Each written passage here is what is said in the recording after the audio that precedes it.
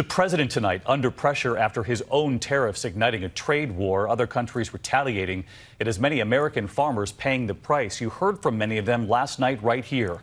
Well, tonight the president with a new promise. Reaching out to the European Union, he called them a foe just a week ago, but late today calling a press conference outside the White House to say they will now work together.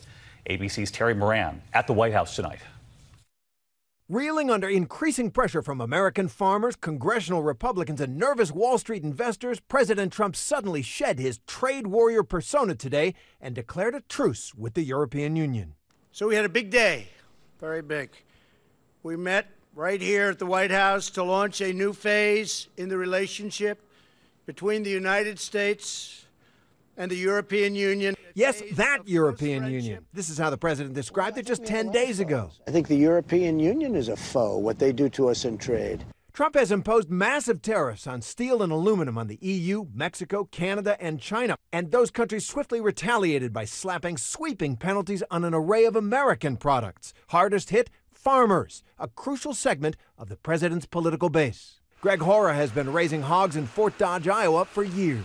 We need the administration to come to these deals quickly and not have agriculture products like pork used as a retaliation tool in these trade negotiations. In Pennsylvania, Richard Schlossberg grows soybeans. I understand why he's trying to do it, but it's affecting uh, farmers in a negative way. So, yesterday, a bailout. President Trump promising farmers a whopping $12 billion in emergency payments right before the midterm elections. Congressional Republicans who ran on free trade and budget discipline hated it. And farmers don't want a dole. They want to trade, they don't want aid.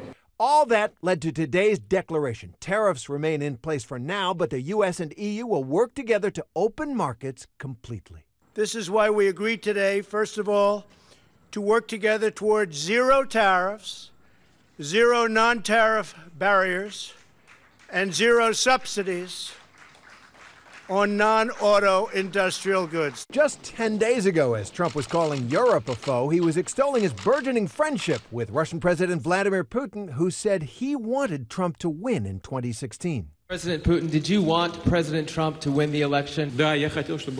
Yes, I did, Putin said. When he returned from Helsinki, Trump invited Putin to the White House in the fall, but the response from the Kremlin decidedly cool. And today, the National Security Council announced there would be no meeting, blaming the Russia investigation, saying in a statement, the president believes that the next bilateral meeting with President Putin should take place after the Russia witch hunt is over. More than a week after Helsinki, it's still unclear what Putin and Trump discussed in their closed door two hour meeting. Secretary of State Mike Pompeo grilled on Capitol Hill today. Has the president told you what he and President Putin discussed in their two hour closed door meeting in Helsinki? The presidents have a prerogative to choose who's in meetings or not. I'm confident you've had private one on one meetings in your life as well. I asked you a simple question. I hope we're going to get through it. Did he tell you what transpired in the two I've hour had a meeting? number of conversations with President Trump about what transpired in the meeting.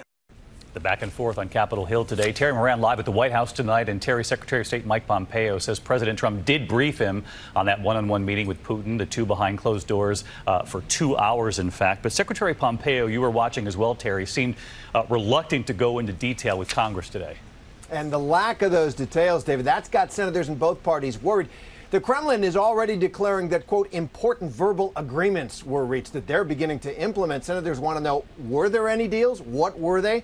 And given that there were no note takers or other officials in the room, is President Trump at the mercy of President Putin's version of events? David? Terry Moran at the White House tonight. Terry, thank you. Hi, everyone. George Stephanopoulos here. Thanks for checking out the ABC News YouTube channel. If you'd like to get more videos, show highlights, and watch live event coverage, click on the right over here to subscribe to our channel. And don't forget to download the ABC News app for breaking news alerts. Thanks for watching.